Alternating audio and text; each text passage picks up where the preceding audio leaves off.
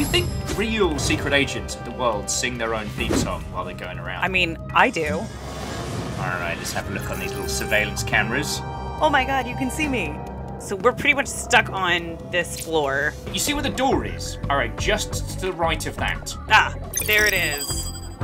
Okay, access code is 5521. Five, five, two, one. Here we go into the mainframe. Let's get you up to the penthouse. I'm gonna need your help uh, cracking this file open, and I think we've got to work together on this. one. Right, let's do this. Okay, we are clearing through this like professionals. Why are you accelerating? I, I can only Why go side to me? side. Yeah, Yeah! you gotta trust me. Oh man, I have a train to catch. Uh, they just detected a connection attempted by a mule. So there's Digital Overlord, and You've told me a lot of words, and I'm very confused. I need a name. All right, password breaker is up. Got it. All right, there is a person moving to your location. Brenning's making a move. You've got to get it now. You've got a minute. Come on, you can do this. 30 seconds.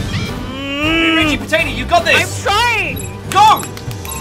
10 seconds. Stop yelling at me. Oh, yes! that was incredible.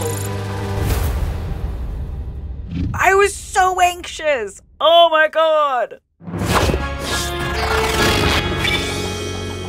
Takes two people to save the world. I could save it with one.